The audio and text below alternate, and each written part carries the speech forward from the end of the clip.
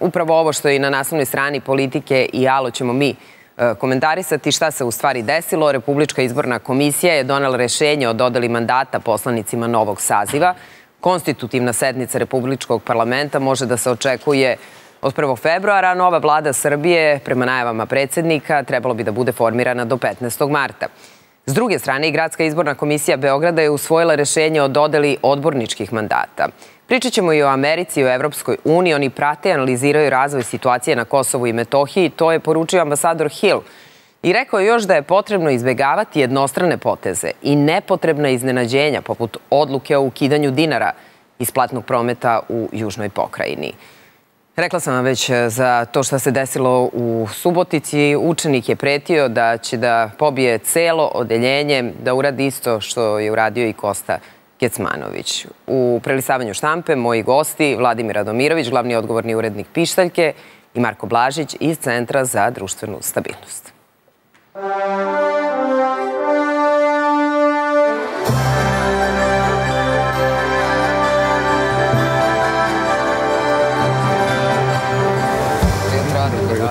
Hvala. E, I juče smo imali oglašavanje RIKA, donali su rešenje o dodeli mandata narodnim poslanicima novog saziva Republičkog parlamenta. E, dobili su presudu Upravnog suda kojem se žalba Koalicije Srbije protiv nasilja, koja je podneta protiv ukupnog izveštaja rezultata izbora za narodne poslanike, odbija, kako je rečeno, po e, svim razlozima koji su navedeni u žalbi. Dakle, e, da li to sad znači da nema u stvari nikakvih prepreka za konstituisanje Skupštine? Pa eto, pre svega da pozdravimo da je opozicija lista Srbija protiv nasilja konačno svoju žalbu predala na pravu adresu i da nemamo više proteste ispred Republičke izborne komisije, a sporni su im beogradski izbori i da su konačno krenuli da se obraćaju institucijama sistema za rešavanje eventualnih problema koji postoje.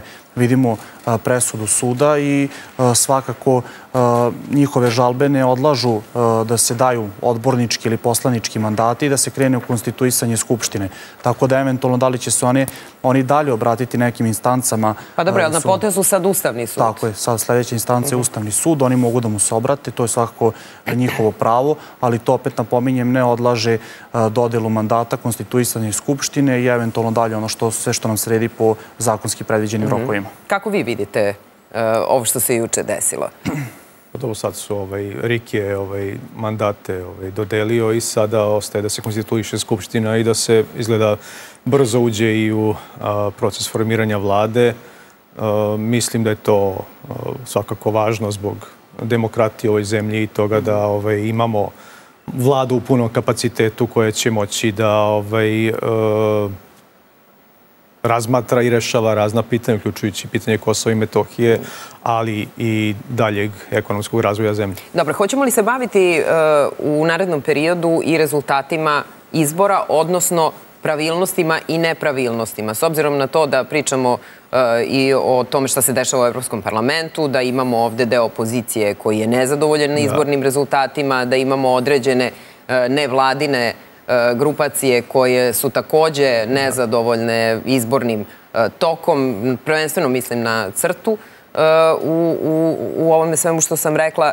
Dakle, koliko će to u stvari biti važno za legitimitet parlamenta ili neće biti važno? Pa mislim da neće biti. Već smo ove, i čuli izjave iz uh, Evropske unije, osnovi iz SAD, uh -huh Ove, i da uh, oni čekaju tu novu vladu i da, mislim, opozicija jedna od stvari osim ovih pravnih koje može da pokrene u, u zemlji jeste i da se obraća pre svega institucijama Evropske unije. Oni računaju na tu podršku uh, s polja i vidimo da u Evropskom parlamentu prošle nedelje bila ta rasprava o Srbiji, čeka se izveštaj pa onda da se uh, glasa u februaru, u februaru da. jeste. Mm. I videli smo tu da e, u raspravi se više govorilo o tome da Srbija nije uvela sankcije Rusiji i da je faktor nestabilnosti na Balkanu, time pre svega što neće da prizna e, jednostranu nezavisnost Kosova. E, I uopšte čini mi se da je poruka bila da bi opozicija ako želi podršku još veću od te, te grupacije u Evropskom parlamentu, trebalo da uh, kaže da će uvesti sankcije Rusiji i da, Da će priznati, stav, tako je, na- da će na priznati ovaj nezavisnost Kosova i Metohije, što je zaista pozicija koja je u ovom trenutku neodrživa za bilo koju opciju političku u Srbiji, jer prosto građani ne žele ni jedno ni drugo. Tako je. I e, negde te vrste ucena spoljnog faktora kada želite, ako želite da vas podržimo. Da, dovode onda- do suprotnog efekta. Tako je, potpuno, onda uradite ono što je suštinski ovde u našem interesu, a ne ono I tu što je u vašem dolazimo do, interesu. do jedne pozicije u kojoj je Evropska unija, dakle jedne dvolične pozicije Evropske unije, koja bi trebalo da je oaza demokratije i da takvu sliku o sebi projektuje pre svega na zemlje koje žele da pristupe Evropskoj uniji, ali u ovom našem slučaju Evropska unija podržava jedno nedemokratsko rešenje za Kosovo i Metohiju i na osnovu toga ne može se, e, nažalost, govoriti o pozitivnom uticaju Evropske unije na dem- dem- na demokratiju u Srbiji. Jel se slažete vi sa tim? Po pitanju Kosova i Metohije svakako da... Po pitanju demokratskog uticaja e, Evropske unije na nas. Takođe. Takođe. Ako se to odnosi na nas, svakako da moramo u obzir uzeti pitanje Kosova i Metohije, ali svakako i mi kao društvo, da li, bili, da li neko bio predstavnik opozicije ili vlasti, mora biti svestan da je država Srbija suverena država i da se mora prema njoj, prema svojoj državi odnositi sa punim poštovanjem i ne insistirati na nekim međunarodnim istragama izbora koji su se desili u Srbiji. Postoje institucije ove države koje su upravo nadležne da sprovedu e, neke istrage, da se njima obrati i da se e, to rešava unutar, unutar same države, jer je to unutrašnje pitanje e, svake suverene države. Tako da pozivanje na neke međunarodne istrage, međunarodne komisije, pogotovo ako imate, sada se ne vraćamo hronološki na ceo izborni proces, gde opozicija nije imala prijave, gde su kasno izašli sa izbornim rezultatima, sve ono čemu smo svedočili, jasan je pokazatelj da oni jednostavno nisu mogli da prihvate taj taj sam, sam poraz. S druge strane i uh, predstavnici Evropske unije i Odira uh, su imali nejasne signale u prvim danima posle izbora. Mi ako se setimo, oni su potpisivali takođe te zapisnike. Imali smo istorijski maksimum uh, stranih posmatrača koji su videli minimum nekih neregularnosti i tek dan, dva posle dolaze signali o nekim većim neregularnostima i kako su kompletni izbori nelegitimni. Samo to njihovo ponašanje pokazuje dvostruke standarde. Kada e, se stavi tačka na izborne rezultate, rezultate e, znamo i juče je predsjednik rekao dakle, da očekuje formiranje nove vlade do 15. marta. Dakle, po celoj sada proceduri mi ćemo suštinski imati formirale, fo- sad pričamo na saveznom nivou formiranje parlamenta e, oko 1. februara, početak februara. Neka, e, neka to... 12.. Šta kažete? Rekao rok je do 12. Do 12. tako je. Ali, e, dakle, e, kada, kada se priča o parlamentu, mi sada, e, ako slušamo ono što priča opozicija, iz njihovog ugla, e, treba da očekujemo da deo neće prihvatiti mandate, što smo rekli da e, odnosno analizirajući kroz e, program i razgovarajući sa ljudima koji poznaju zakon, oni mogu samo da daju ostavke na mandate, a mandati svakako su njihovi, tako je. I šta očekujete da može da se desi pri, pri formiranju parlamenta? Jel očekujete neku reakciju dela opozicije koja e, će biti intenzivna, koja će, koja će pokazati da oni u stvari ne smatraju da je taj parlament legitiman? Prvo, mi i dalje ne znamo da li opozicije na kraju, da li su sporni i parlamentarni izbori ili samo beogradski. Prvo smo imali da su samo beogradski sporni, pa da su svi sporni, pa kada više nisu bili sporni glasači iz Republike Srpske, bile su sporne, unutrašnje migracije glasača, ali ako su se već desile unutrašnje migracije, znači da parlamentarni izbori ne mogu biti sporni. Tako da mi do kraja ne znamo ni koje oni izbore osporavaju, da li na svim nivoima ili samo beogradske.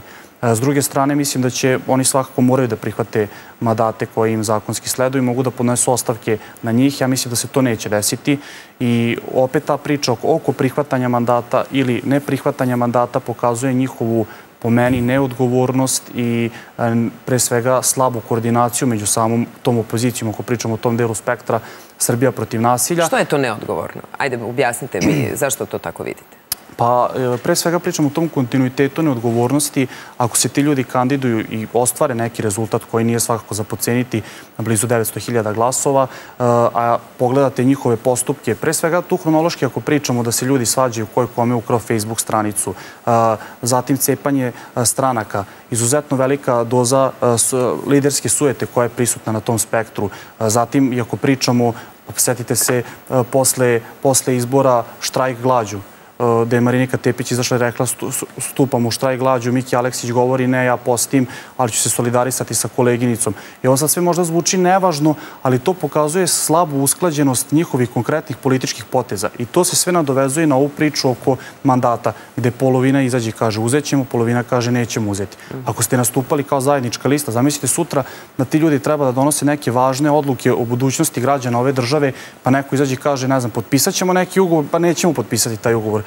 E, priznaće, uvešćemo sankcije Ruskoj federaciji, nećemo uvesti sankcije Ruskoj federaciji.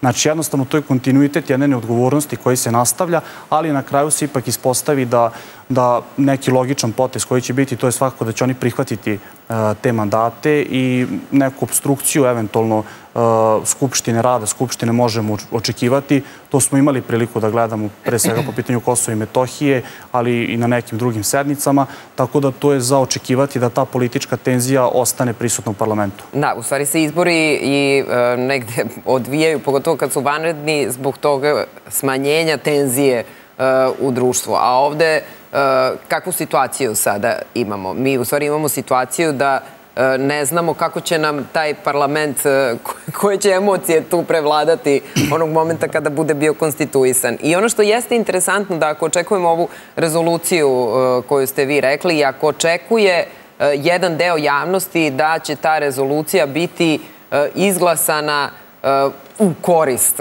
opozicije koja je potpuno pravno neobavezujuća, ona će biti izglasana posle konstituisanja Skupštine. Da. I šta će onda ona predstavljati? A recimo, čuli smo i Mariniku Tepić koja kaže, evo, e, nije štraj glađu bio uzaludan, e, na dnevni red Evropskog parlamenta je stavljeno upravo tema da, e, izbora u Srbiji. Na osnovu onoga što smo videli u toj raspravi u Evropskom parlamentu i na osnovu dosadašnjih izveštaja ovih posmatračkih misija, sigurno u rezoluciji neće pisati da, i da su izbori pokradeni. Uh, dakle, da je bilo nekih nepravilnosti, da je bilo medijske, ovaj, da je neravno, neravno, neravnopravno medijski zastupljen, ovaj, zastupljena opozicija bila, to da, ali uh, to su sve stvari koje su bile i u ranijim izveštajima, pre svega OEPS-a, odnosno ODIRA, i uh, verovatno pretpostavljamo da će neki zaključak te rezolucije biti da vlast mora da poradi na tome da ispravi sve te nepravilnosti,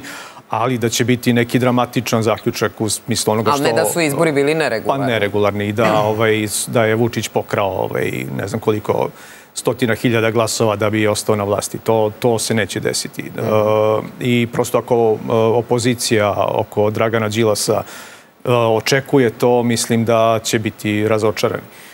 S druge strane, oni mogu da računaju na podršku nekih grupacija u Evropskom parlamentu i u buduće I, ali mislim da je poruka i tih grupacija da oni treba da prihvate mandate i da učestvuju u radu Skupštine i da I da se spremaju za 2027. Ja? Pa ja mislim da je i vreme da počne da se razmišlja već od 2027. i da se prosto priprema teren i što se vlasti tiče i što se opozicije tiče uh, za te predsjedničke izbore, a znamo da su u Srbiji mhm. predsjednički izbori uvek donosili ovaj, uh, razna iznenađenja. Da, i kada se uh, uopšte priča o tome kako bi trebalo ta vlada da nam izgleda, kako je vi vidite? Jel vidite velike promene u odnosu na sadašnju vladu? Kada se formirala ova vlada koja je bila aktuelna do mm. ovih izbora, onda se pričalo da je to prelazna vlada, da će tu biti eksperata, da Jana Brnabić uh, kao premijerka oročena na dve godine na toj poziciji.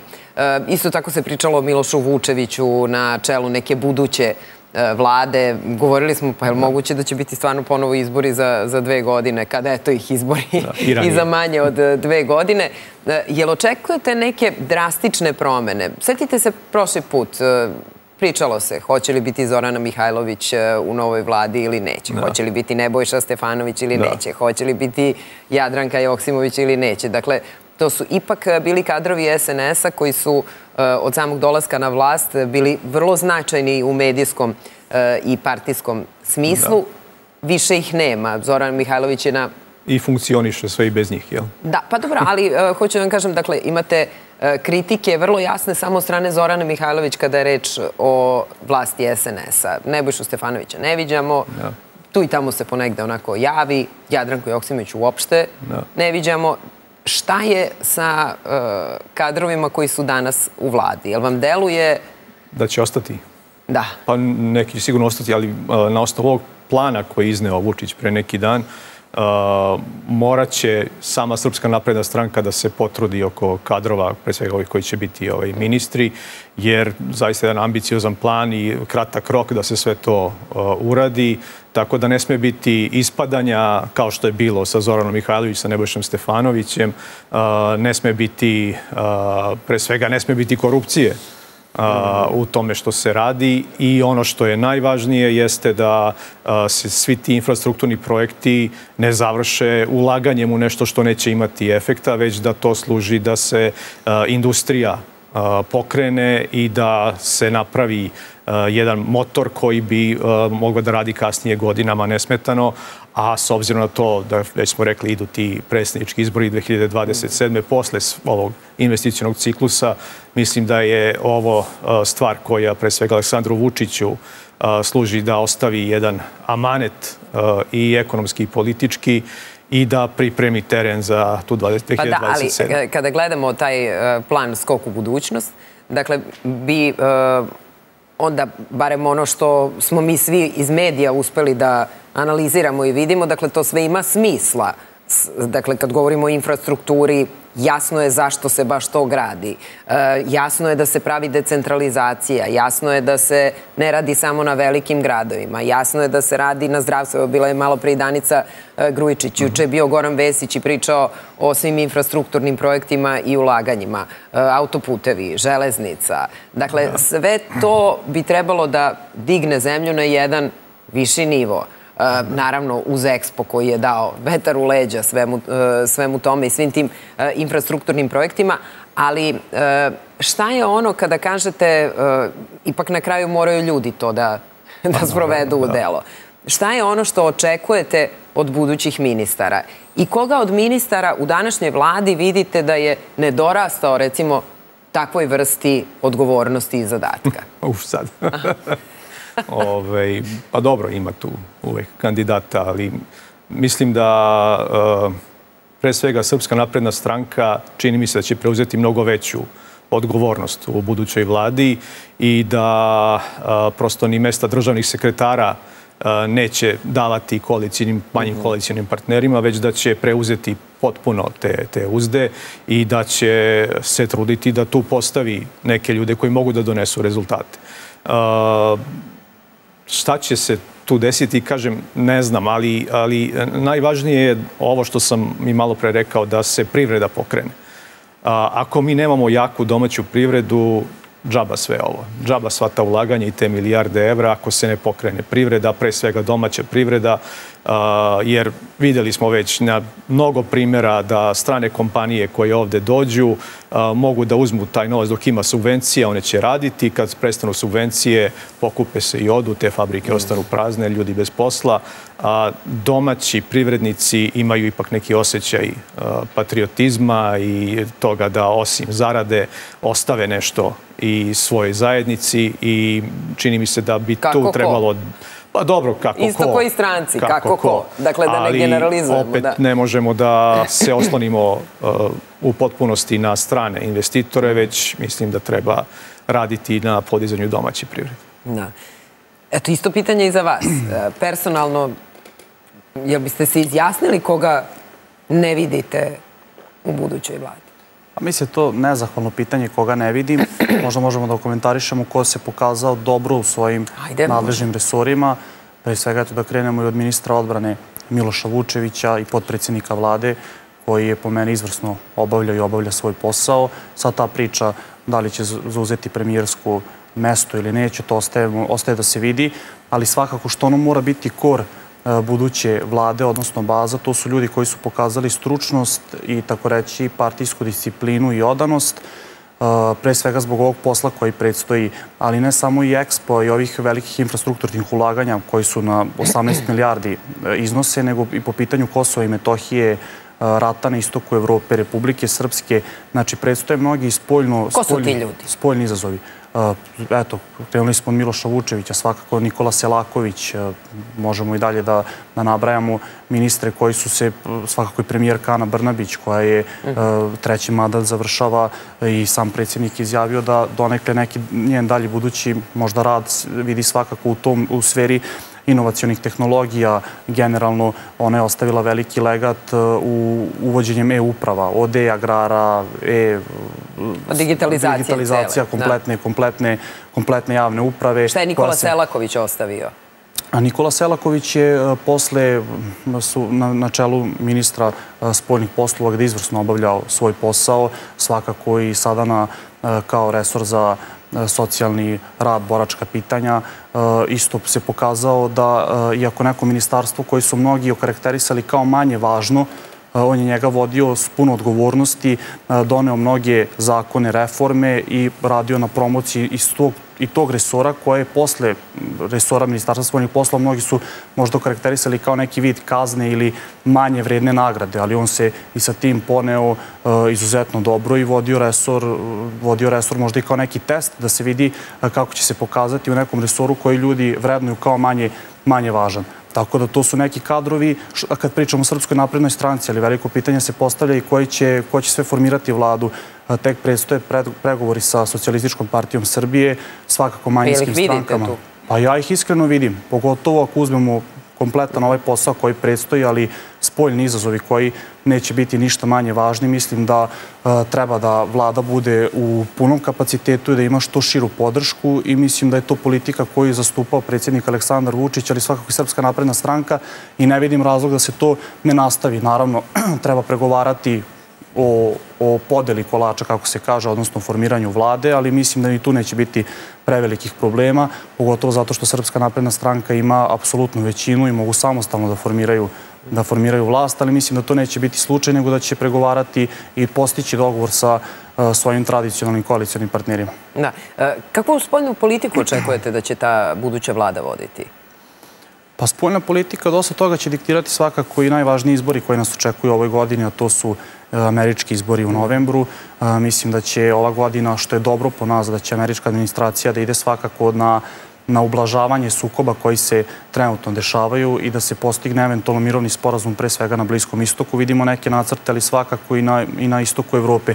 To je nama znak da neće doći do neke veće konfrontacije na, na Balkanu, bar da američka administracija, odnosno izborni štab predsjednika, aktualnog predsjednika Joe Bidena, e, će ići na tu opciju da se neki novi sukobi ne aktiviraju i da se ovi koji su trenutno pasiviziraju, znamo da predsjednik u izbornoj godini uopšte ne odgovara da Amerika učestvuje u nekim sukobima, to su samo minus, veliki minus njemu u izbornoj kampanji. Ma da, ali su ušli u mnogo toga, tako da, Oni su da, ušli, da se povlače... Ali, ali ne, ako pogledamo, evo, ako analiziramo samo Bliski isto, koliko je signala davao predsjednik Biden da se ne kreće sa kopenom intervencijom, da se smanje borbena dejstva u pojasu Gaze i vidimo da je, da je, da izraelski premijer Netanjahu pod jakim pritiskom Blinkena i administracije Joe Bidena izneo sada mirovni predlog da se ide na dvome mesečno primjerje u zamenu da se svi taoci oslobode. Znači, to su jaki signali koji pokazuju... Ali dobio isti takav odgovor da uh, nema ništa od oslobađanja talaca. Hamas, Hamas trenutno zahteva apsolutni prekid primjera da bi, da bi oslobodio te taoce, ali ono što, je svakako, što su svakako signali koji dolaze iz Amerike, to je da njima ne odgovaraju ovi trenutni sukobi. Uh, pogledajte samo Huti kada su izvodili napade, koliko je Amerikancima trebalo da se odluče da izvrše vazdušne udare na teritoriju Jemena, upravo iz razloga predsjedničkih izbora koji se održavaju u ovoj godini jer će američka javnost to da posmatra na pokretanje još jednog rata, a to nikako ne da. odgovara. I kada je reč o e, toj spoljnoj politici Skoplje juče, e, važni sastanci, važne poruke, meni je interesantan, a to vidim nekako niko nije e, komentarisao, interesantno mi je ta pokrivalica, kako se to televizijski kaže, snimak gde se predsjednik Vučić pozdravlja onako u prolazu sa Ramom, sa Edijem Ramom, I onako, kako da vam kažem, uvek njih dvojica su imali neke tople razgovore. Ne znam da li ste to videli. Onako, da, onako malo onako preko ramena Vučić e, pogleda, nešto mu kaže, nije to delovalo, jeste vi videli to, nije to delovalo e, prijateljski e, sasvim, ali to niko nigde nije komentarisao, ovaj, pa ne znam, jel, jel mislite da mi je utisak pogrešan? Pa mislim da je vaš utisak potkrepljen, nažalost, ako uzmemo događaje od Banjske i sve mm -hmm. ono, da je Edi Rama pod možda i nekim uticajem svoje javnosti morao da, da zaoštri stav prema i lično odnose prema predsjedniku, ali i na relaciji Tirana-Beograd. Mm -hmm. Jer Kurti ozbiljno preti da postane taj lider, što se kaže, sve Albanaca. I ako setimo onog skupa u Tetovu koji se desio, da se Albin Kurti promovisao za, za lidera Velike yes. Albanije otvoreno. Edi Rama tu vidi političku pretnju po svoju karijeru i nažalost to je pokazatelj da se to neko, taj albanski korpus e, ekstremizuje i da im je uvek e, prijemčivija ta ekstremna opcija koja svakako pripada Albin Kurti, a ne Edi Rama. Da, i kao da mu predsjednik e, Srbije onako kaže, ma pusti te priče koje ti meni pričaš ovako kad se vidimo, jasno mi je šta mi radiš iza leđa. Eto, ta, tako je to nekako moj utisak, juče delovalo. Eto, moj skromni utisak je da Edi Rama je on kao on pobornik i otvorenog Balkana i ekonomske da. saradnje i tih nekih razvoja ekonomskih odnosa, ali da jednostavno politička situacija i samo raspoloženje Albanaca mu diktira drugačiji tempo. Mm -hmm. e, da, pa dobro, jer e, mi smo uvek smatrali, mislim uvek, u poslednjih nekoliko godina stvarno smatramo i dobijali smo takve poruke da su naši odnosi sa Albanijom na na jednom visokom da, nivou. Da naši turisti idu tamo na more. Je, da. Pa da vam kažem, prošle godine smo imali koliko desetina uh, hiljada da. turista uh, u, u Albaniji. Ali otvor, Zapadni Balkan sa ulaganjima koja su nam najavljena E, to je značajna pomoć ili ulaganje ili, kako da vam kažem, podsticaj. Kako, bismo, kako biste vi da. to karakterisali? Tih nekoliko milijardi koji se dele na nekoliko zemalja. Da. Pa neka vrsta pomoći, ali ovaj, mm -hmm. meni nešto drugo zanimljivo, Šta? a i ne pominje se poslednjih meseci toliko, ovaj, uh, bescarinski sporazum sa Kinom. Mm -hmm. Ja sam baš nedavno ovaj, pogledao s kim ovaj, Kina ima takve sporazume u Evropi. I dakle, osim Srbije koja je nedavno ovaj, potpisala taj sporazum, ima ih sa Švajcarskom i Islandom. Sa Švajcarskom već 15-16 godina. A, Švajcarska i Island su zemlje koje nemaju nameru da ulaze u Europsku uniju. A, kakva je poruka toga što Srbija sada ima taj bescarinski sporazum, jasno je da nama su potrebne investicije iz Kine i da nam je potrebno i to tržište, ali kakva je poruka Evropske unije koja ovaj, ne kaže ništa na to što ovaj, mi imamo sada bescarinski sporazum sa Kinom, ne kaže ljudi vi ćete ući u Evropsku uniju vrlo brzo, ne treba vam taj sporazum. Mhm. Imaćete ovaj, e, potpuno prava na sve ove strukturne fondove iz Evropske unije, ne treba vam da, mhm. da radite to sa Kinom.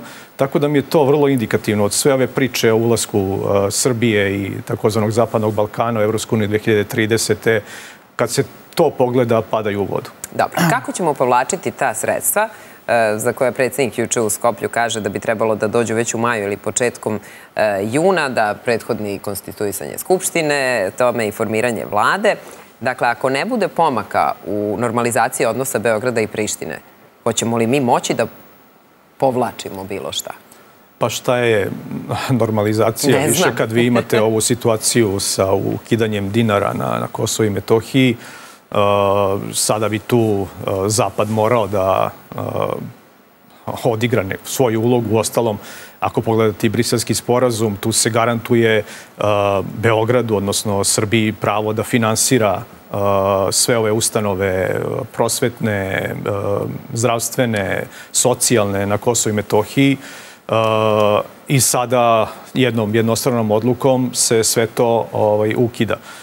Evropska unija bi morala da hitno reaguje i da onemogući tu odluku. A s druge strane, bilo mi je zanimljivo, pre par dana je Petri Celjimi, bivši ministar spoljnih poslova Kosova na, na Twitteru, na, na X-u, ovaj, komentarisao politiku Albina Kurtija i njegov zaključak je da ovo sve što Kurti radi udaljuje Kosovo od približavanje Evropskoj uniji, od ulaska u NATO. On je tamo pominjao neki rok 2032. da je Kosovo moglo da uđe u NATO. I sada zbog Kurtijeve politike sve to ovaj, je na dugom štapu i on procenjuje da će ove godine biti izbori na Kosovu i da će Kurti ponovo pobediti, ali da je pitanje s kim će moći da napravi koaliciju. Dakle, jedna vrlo zanimljiva analiza koju mi ovaj, ne čujemo često u našim medijima i prosto čini mi se da ne znamo mnogo o tome kakva je unutrašnja politička situacija u Prištini i na teritoriji Kosova i Metohije u, u, u albanskom ovaj, biračkom telu. Da, i Kurti, pa dobro, zato što uh, vi s jedne strane imate medije u Prištini koji uh, prenose tu Kurtijevu... Koji su monolitni zapravo. Apsolutno, da. I prenose tu njegovu, e, te njegove poruke. On čak i juče kaže, posle svih sastanaka, vi imate, dakle, jednu fantastičnu stvar koja se desila. Uspostavljanje slobodnog tržišta rada stupa na snagu 1.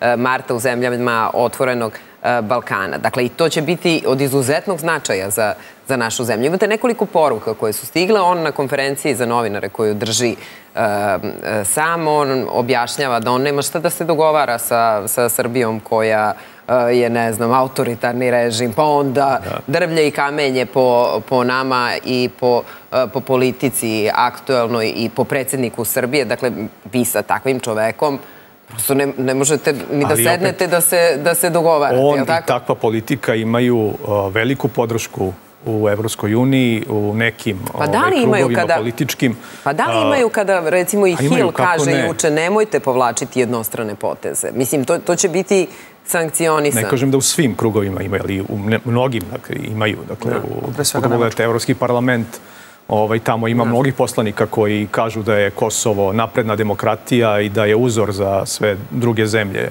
takozvanog Zapadnog Balkana. E, su to mnogi ili manjina?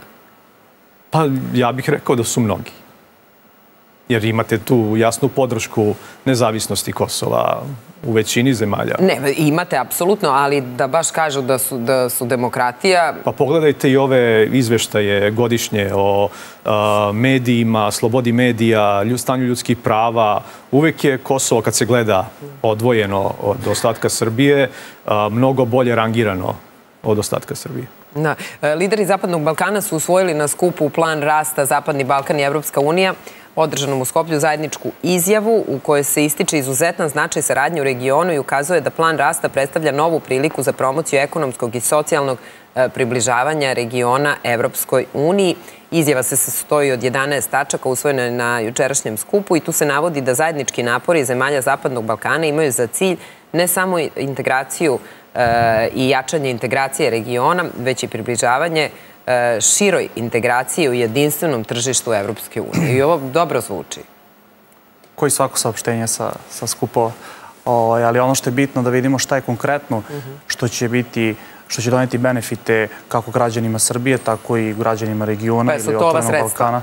koje ćemo moći da povlačimo? To su ova sredstva koje možemo da povlačimo, ali ono što je svakako mnogo bitnije, to je zato što se razgovaralo o tim zelenim trakama, to su trake za kamione gde bi se enormno smanjili operativni troškovi transporta i recimo ako mi iz tih e, sredstava za plan razvoja Zapadnog Balkana povučemo milijardu, to je recimo e, na godišnjem nivou bi se toliko smanjili operativni troškovi. Pa vi sada uzmite, e, kada bi se samo uvele te zelene trake na, na desetogodišnjem nivou, koliko bi to donelo direktnih para preko smanjenja operativnih troškova Srbiji, podstaklo našu privredu, svakako i izvoz.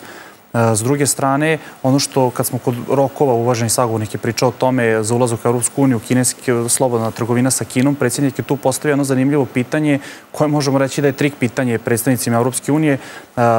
Ako možete da nam kažete da li mi možemo da subvencionišemo strane investitore u Srbiji i na koje rokove da se obavežemo da ćemo isplaćivati te subvencije, jer te subvencije nisu usklađene sa, sa, zvaničnim, sa zvaničnim stavovima, odnosno zakonskom regulativom Evropske unije. I ako mi recimo uđemo u Evropsku uniju 2027. mi smo se nekom obavezali do 2030. da isplaćujemo te subvencije, mi ulazimo te tri godine u tu penal zonu, da se tako izrazim, jer nećemo moći zbog usklađivanja sa politikom, ekonomskom politikom Evropske unije to da radimo. I vidimo da, da nije predsjednik dobio konkretan odgovor i to je još jedan signal kao i potpisivanje ugovora sa slobodnom trgovinom u Kini, da nas, nažalost, Evropska unija u skoroj budućnosti ne vidi u svojim redovima i, i ova inicijativa, plan razvoja Zapadnog Balkana je upravo to, da nas drže blizu sebe, ali da se definitivno još ne projektuje proširenje Evropske unije.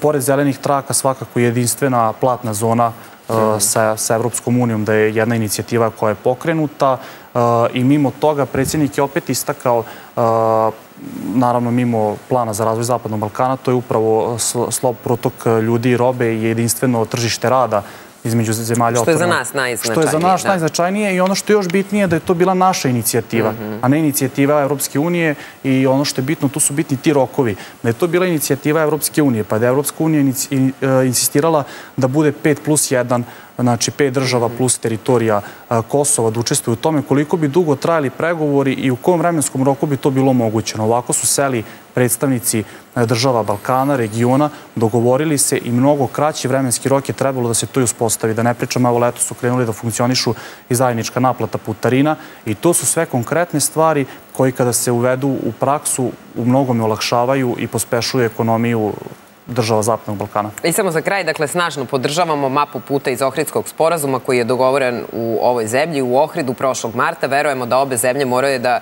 kroz proces dijaloga rade na tome da se mapa puta u potpunosti provede. To je rekao Braj na konferenciji za medije nakon skupa e, Zapadni Balkan i Evropska unija u Skoplju. Jel očekujete uskoro nastavak e, pregovora ili očekujete Vučića i Kurtija za stolom?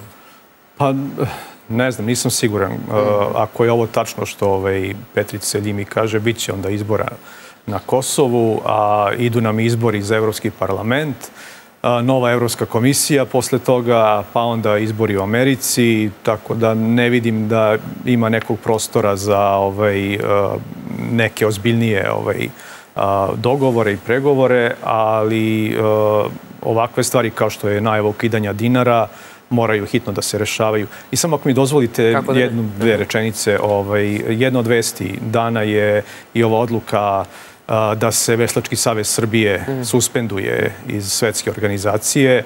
A, hoću da kažem da a, su neki ljudi zaposleni u Veslačkom savezu Srbije već godinama upozoravali na razne nepravilnosti koje se tamo dešavaju i da, je, da su, nažalost, dobili otkaze sa svojih radnih mesta, da, da su nadležni državni organi na vreme slušali šta, šta ti ljudi kažu, ne bismo došli u ovu situaciju ajde nam, da se ajde sada... Ajde sad iz početka da ne prekidamo dobro, sada. Dobro, onda, mislio sam da nemamo vremena pa... Pa za, kada, kada su važne teme uvijek imamo. Objasnite mi, dakle, šta se, šta se dešavalo i šta je problem? Dakle, problem su uh, financije, odnosno uh, nepotpuno izveštavanje u utrošenim sredstvima koji su dolazili iz budžeta u Veslački savez Srbije. Uh, ti ljudi su upozoravali uh, dugo Koga? vremena nadležne državne organe uh, šta se dešava, klubove koji su člani, članovi Veslačkog saveza. Nažalost, ništa se nije desilo. Oni su ili smenjeni, potom ovaj, dobili otkaze ili su sami otišli zbog cele te atmosfere. I sada smo došli u situaciju zaista vrlo opasnu po sve naše sportiste, dakle veslače, da je Savez suspendovan zbog dugovanja prema svetskoj organizaciji i prema dobavljačima koji su radili za dva bitna takmičenja. Moram da kažem da su ovi ljudi koji su upozoravali na nepravilnosti upravo ljudi koji su obezbedili Srbiji da ima ta dva važna takmičenja, svetski kup i svetsko prvenstvo u Beogradu. I, e, dakle, moja poenta je da je važno da državni organi kada ih uzbunjivači upozore na neke nepravilnosti, brzo reaguju i da ne dođemo u ovu situaciju koja može u ovom slučaju uticati i na plasman, odnosno učešće naših veslača na olimpijskim igrama. A čiju reakciju očekujete sada? Očekujem reakciju Ministarstva sporta i uh, tužilaštva. Mm -hmm. uh, dakle, uh, važno je da tužilaštvo reaguje u ovakvim slučajima i Pištaljka već godinama sarađuje sa Vrhovnim javnim tužilaštvom, radimo obuke za tužioce i objašnjavamo koliko je bitno da se uzbunjivači koriste kao izvor informacija, jer oni su na licu mesta, imaju informacije o nepravilnostima i mogu da tužilaštvu pomognu da se te nepravilnosti istraže i da odgovorni budu kažnjeni. Hvala vam mnogo na gostovanju i radit ćemo i mi tu temu. Hvala vam mnogo što ste došli i što smo sve komentarisali.